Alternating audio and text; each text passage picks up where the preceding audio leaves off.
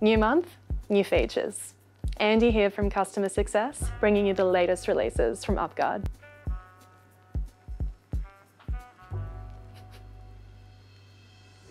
You're now able to export your list of monitored typo squatting domains, as well as any registered, unregistered and ignored permutations of a specific domain.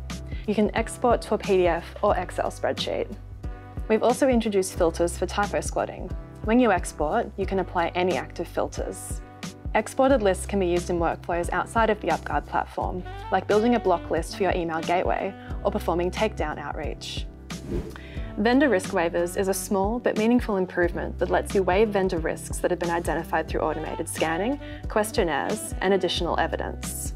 This is particularly useful for risks identified through questionnaires, letting you waive risks from a vendor's profile if the vendor has adequate compensating controls. The Vendor Risk Waivers feature is currently in closed beta. If you'd like to join the beta testing, contact us via support at upguard.com or the live chat on our website. For the full list of new additions, check out the release notes at upguard.com releases.